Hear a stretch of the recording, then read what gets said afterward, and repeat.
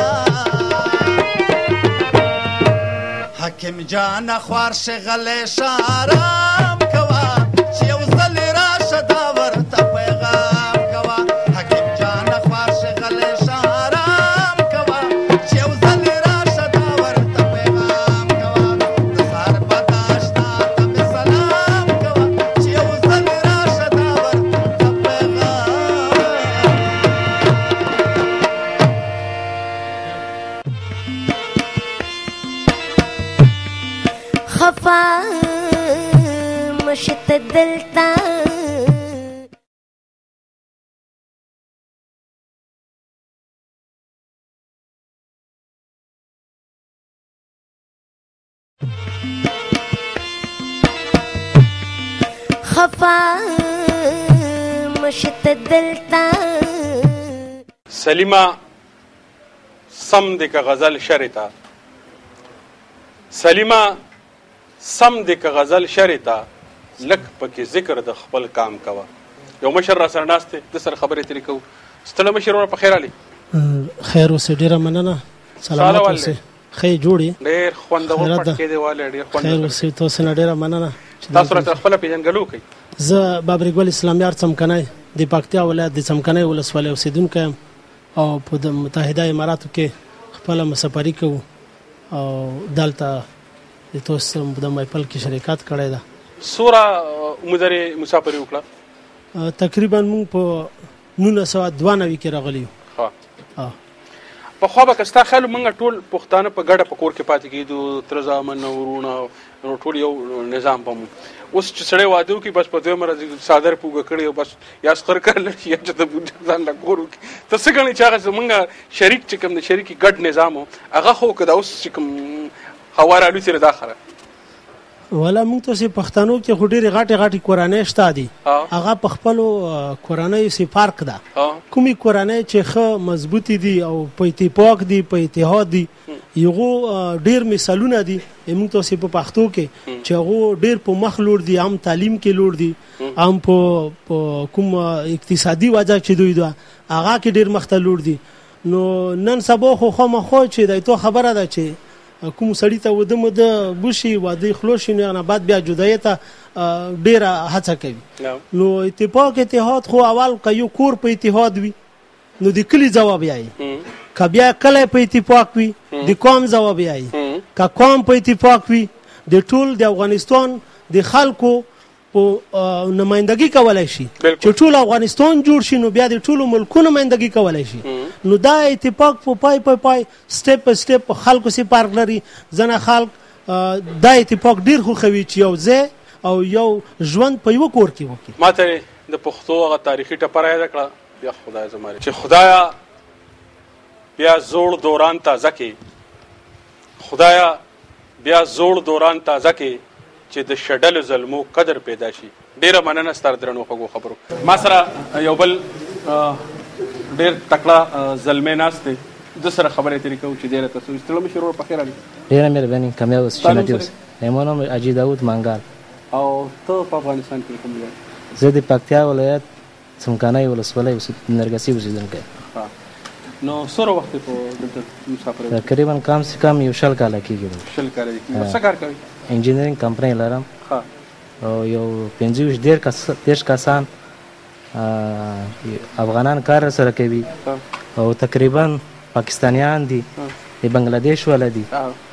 او دا ټول یو ځای مسره کار کوي تاسو ته دلته کې لکه خپل تجار کوي خپل یو تجار یم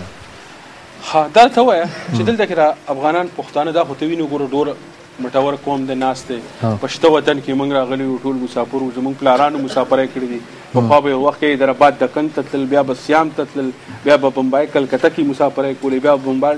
ډکې ته تلل بیا په کراچۍ کې پښتانه مسافر وو او په پښتو ژبه کې به ټپي کې دي چې میندې راړي خويندې لوی کې او بیا په مزي د کراچۍ سیټان کوي دا ټپي او دا ټول سيزونه په کېدلې در بعد د کن پاوله په ټپي کې دي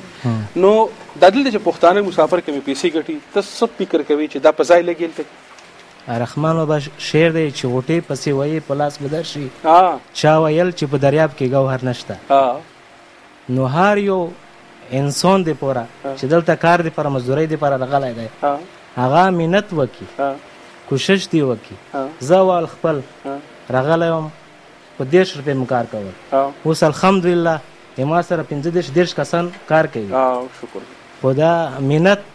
هر یو انسان دی پر ډیر ضروری دی مینت دی وکي په مینت سره هر څه ته حاصلولای شئ. مونږ ستاسو ډیره مننه کوو چې دا دومره ښکلې خپرونه هم دلته کې راجوړه کړه. الله دې وکړي چې هغه ورځ زمونږ په وطن، زمونږ په خاوره باندې راشي چې دا ځوانان لکه څنګه یې چې دا وطنونه او نور وطنونه اباد کړي دي، مونږ خپل ګران وطن افغانستان هم په خپلو مټو باندې ودان، اباد کړو او د دنیا د ټولو ملکونو، د ټولو وطنونو سیالې وګرځوو. ډیره مننه ستاسو. السلام علیکم ستړی مشي وعلیکم السلام تاسو نوم دی زما نوم نوید دی او زه مطالعه په کاناډا کې او بیچلر په اقتصاد پوهنځي کې کوم او ماینر په پولیټیکل ساينس سیاست کې کوم او په افغانستان کې تاسو د کوم ولایت یې زه په افغانستان کې د ننګرهار ولایت یم ته تزیر راځي افغانستان ته چکر ور وخو او په مستقبل کې مې اراده دا ده چې د خیره پوهنځي نه بعد انشاءالله خپل ملک ته خدمت وکړم او الته زده کړې ته په کوم وطن کې کوي چې افغانستان کې زده کړې کوي کوم ځای کې زه په کاناډا کې زده کړه کوم په وینزر یونیورسيټي کې ټاپ 10 په کاناډا یونیورسيټي کې ده او دا الته چې کوم تاسو نور پښتانه ماشومان ستاسو په چینل کې څه سبقونه وایي دغه ډیر پښتانه شته زمونږ پرانګي په کاناډا کې سبق وي هم دې په کوشش باندې دي چې سبق ووایي او ډګرینې والي او خپل وطن خدمت وکړي. څه سوچ هلته چې تاسو خپلو کې کینی د خپل وطن په اړه د دې بدبختو په حواله د جنګونو په حواله د فساد په څه فکر کوي چې لکه د څنګه دا ختموي ډیر افغانان شته چې ډاکټران هم دي ساينسدانان هم دي سیاست مداران سیاست مداران هم دي او نو ارک سړی نو بیل بیل باسونه کوي یو بل سره او هر سړی هر افغان دا اراده لري چې په فیوچر کې خپل افغان خدمت وکړي الله دې وکړي چې هر پښتون بچی د دنیا له ټولو نه جدید علمونه زده کړي خو خپل جبه خپل کلتور خپل وطن خپل خاوره خپل ولس ته هیر نشي او الله دې وکړي چې هر پلار او هر مشر داسې شي چې خپل بچو ته هر ټول سبقونه وښيي خو چې خپله ژبه کې لیک لوست ورته وښي که موږ د دنیا ټول جدید ترین علمونه زده کو او په خپل جبه کې موږ له لیک لوست نه راځي په پښتو کې نو زمونږ په دې شخصیت کې زمونږ پر وجود کې زمونږ پر تن کې په دې کې به ډیره لوی نیمګړتیا په کار ده چې موږ خپل بچو ته خپل جبه کې لیک لوست خامخا خو ډیره مننه ستاره درنو خوږو خبره ډیره مننه د شمشاد نړیوال ټلویزیون مینوالو دا زمونږ د نن ورځې خبرونه زما د لری وطن یاره چې موږ د ابوظبی مصفې نه تاسو ته وړاندې کړه دې سره زموږ د خبرونې وخت سر ترسي در بلې خبرونې دنه زنزار یوسفزی سره د خپل همکارانو اجازه غواړم خاد او آباد اوسئ